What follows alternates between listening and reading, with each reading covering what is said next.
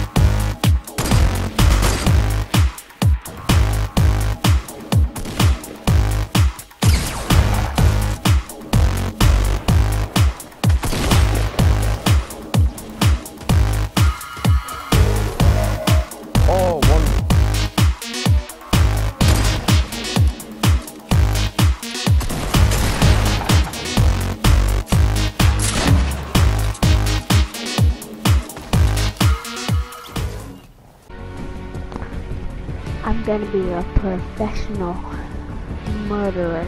I'm gonna kill everyone in your neighborhood. And I'm gonna especially kill you first, so you better watch out. I got an AK-47 right next to me, so I'm gonna come and kill you.